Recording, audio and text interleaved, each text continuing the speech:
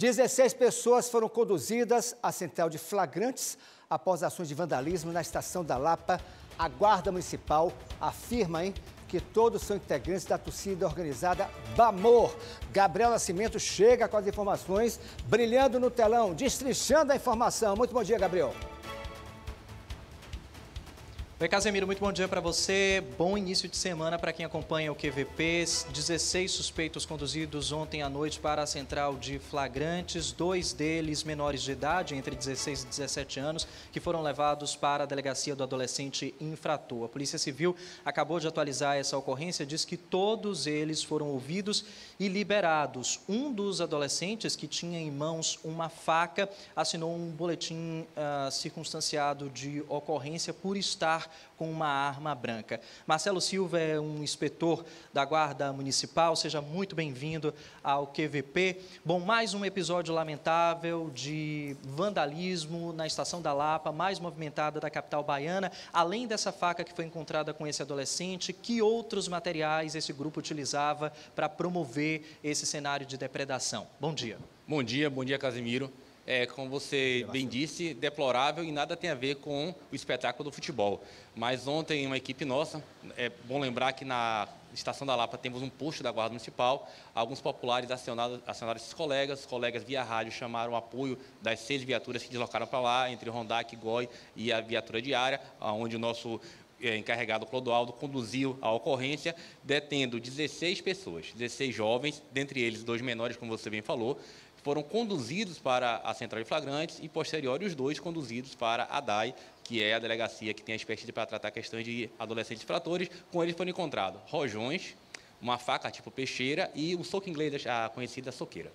Todos eles, a gente vê nas imagens registradas logo após a condução deles, utilizavam camisas do Bahia e da Bamon.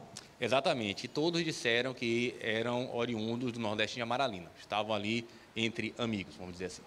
Importante registrar que a população tem essa relação direta com a Guarda Civil Municipal e pode contar com esses agentes em situações como essa, que, por sorte, não feriu nenhuma pessoa que passava pela estação da Lapa ontem. Exatamente, até porque em períodos de final de semana e quando nós temos grandes eventos, a gente aumenta o efetivo diário, justamente porque sabemos que pode acontecer algum tipo de ocorrência dessa natureza e com certeza a nossa sociedade soteropolitana já sabe que pode contar com a Guarda Municipal, que é sua segurança pública no nível municipal.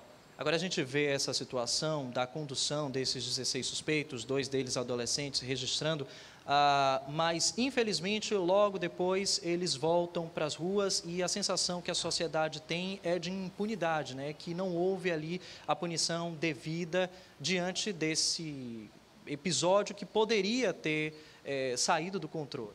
Exatamente, exatamente. É a, o que muitos dizem que é a sensação de enxugar gelo. Para o agente de segurança não, porque nossa obrigação é deter e conduzir. O delegado aí fica com a parte persecutória e, como você bem disse, o termo de circunstanciado foi assinado por aquele que tinha uma Ô, arma branca, mas os outros foram liberados. O que não traz é, nenhuma repercussão no mundo jurídico, nem para eles, então isso não vai, não vai parar aqui, sempre vai acontecer talvez seja a hora da sociedade conversar um pouco mais sobre essa questão e deliberar quanto que é melhor é, torcida organizada, é não torcida organizada, é punir ou não essas pessoas, como se conversa de outras coisas, exemplo do carnaval, quando se falou de um bloco que usava determinado equipamento e incomodava muito. A sociedade que tem que decidir os futuros dela. Então, se ela entender que isso incomoda muito, podemos conversar, fazer audiências públicas e aí o governo e, e os gestores políticos poderão ajustar da melhor forma.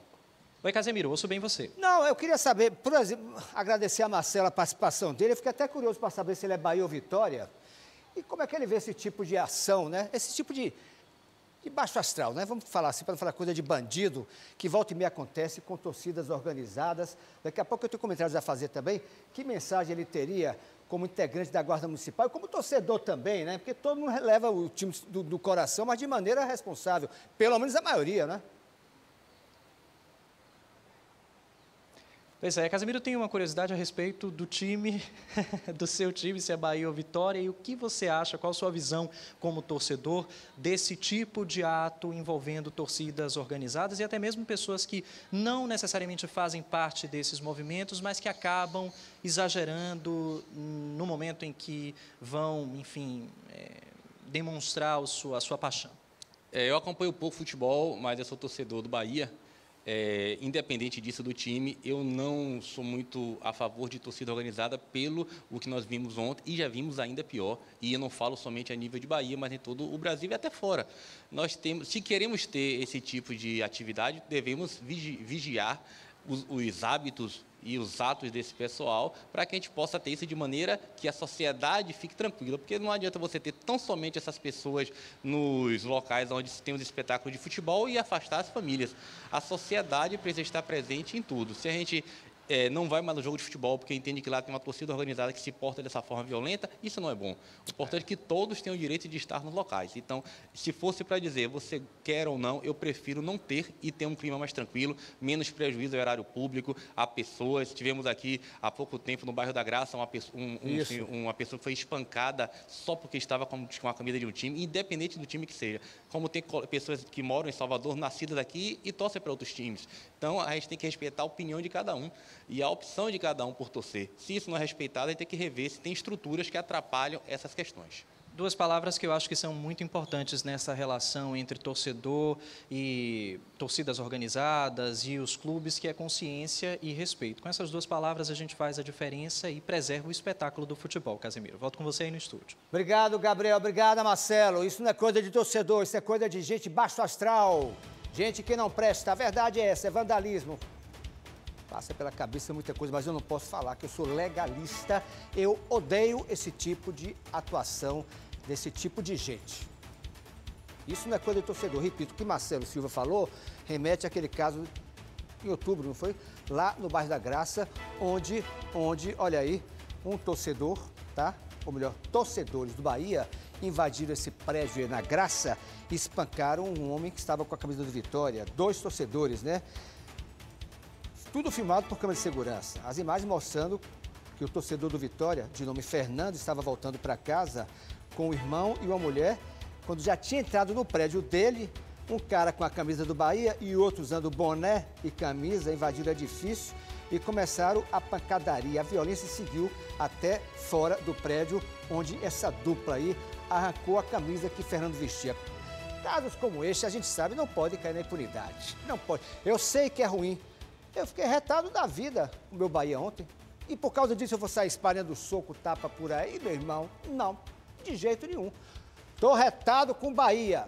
Para não falar outra coisa. Tô mesmo, tô mesmo. Mas, paciência, né? Vamos aguardar que melhore.